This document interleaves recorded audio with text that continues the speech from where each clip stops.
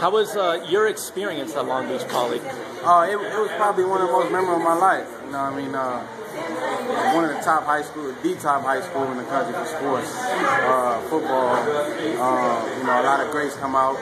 Uh, I wanted to go there all my life. And uh, four years there, I wish it was uh, another four years. You know, watching that, uh, watching the show made me think that uh, I wanted to go back to Poly. I just really miss it. And what about going to UCLA? Did you have the same thing there, where that was the school you wanted to go to as well? Oh, it, it, actually wasn't the school I wanted to go to. I, I actually wanted to go to University of Miami, but uh, I had a couple issues there, you know, where I couldn't be able to get out there for a trip and things didn't line up right. But, um, you know, I chose UCLA. It was one of the best schools out of the group that I had chosen.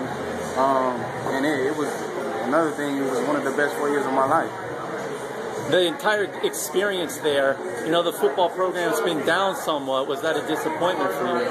Um, it, it, it kind of was. Um, you know, being at Poly, you know, I was used to winning games. Um, UCLA was like 10 and 2, I think, the year before I got there, and it was, they had a winning, a winning uh, uh, uh, percentage there, so I was ready to go there. You know, Marcedes Lewis and Maurice uh, Jones-Drew went there, and they were balling. You know? So I was like, I need to go to that school. It reminds me of me here winning at Long Beach Poly when I got there and didn't work out so good. What do you think happened with the program that led to the drop off? Uh, we, we, we liked a little bit of leadership. Uh, there was a lot of guys there that really wasn't as uh, into football as some other guys were. You know, some people were there just for the ride, and that was unfortunate.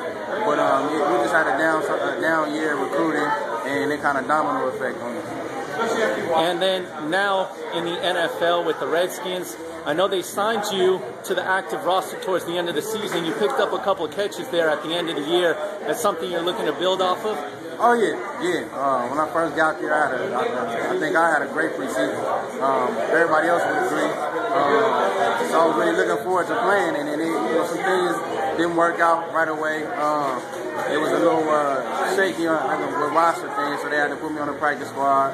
But uh, I just took it as a grain of salt and I used it as a chance for me to learn. And I learned from veterans, and um, it helped me out. At the end, I was able to showcase my talent, and I impressed the coaches, and uh, I got a bright future ahead of me. Now, when they first drafted you, I know special teams was a big reason why.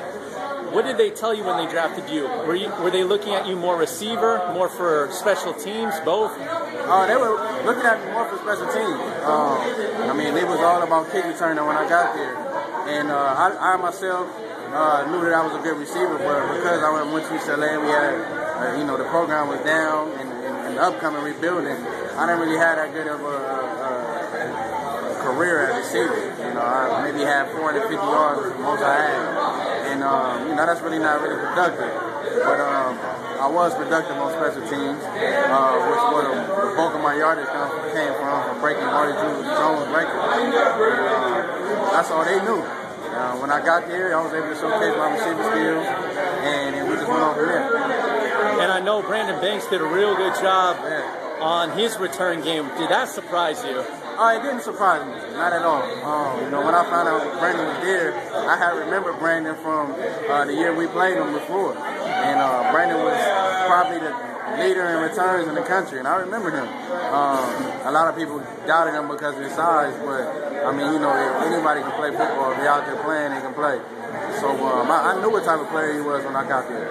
You know, Willie Parker recently said, comparing the Steelers with the Redskins, that the Redskins was a partying team, and he wasn't with the team during the season. That was just from training camp.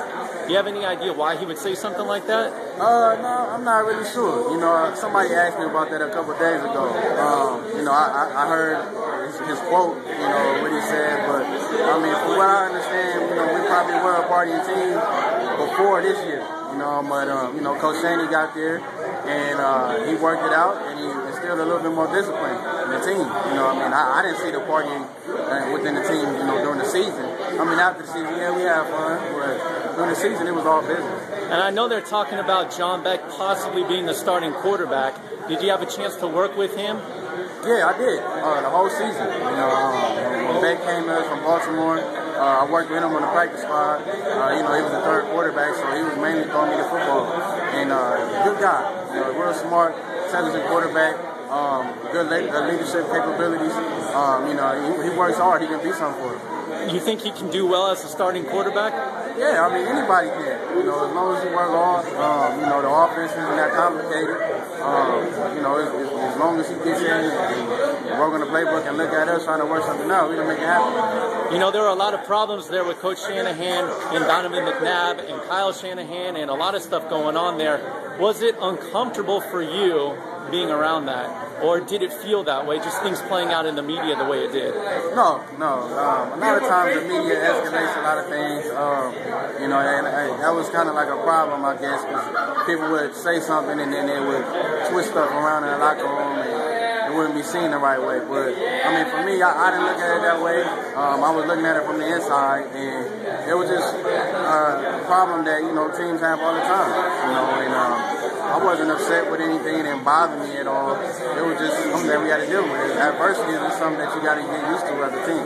Where do you think you fit in for the upcoming season if the lockout ends and the season begins? Now, if the lockout ends, you know, I, I find myself going in there fighting again. You know, I mean, uh, we drafted three new receivers. Uh, you know, nothing's given. Uh, so I'm here working hard. You know, trying to make sure I'm in shape so that when I get there, you know, I can hit the ground running. And uh, you know, I'm ready to compete with these guys and um, I really want to be on the uh, be on the Washington Redskins football team.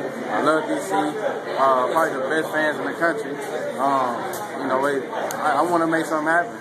And what have you been doing with most of your time throughout the lockout? Uh, I've been working out. I've been working out, making sure I catch a bunch of balls, footballs, uh, sprinting, uh, trying to make sure that my guns is up, trying to maintain my strength, and uh, just all around trying to become a better football player.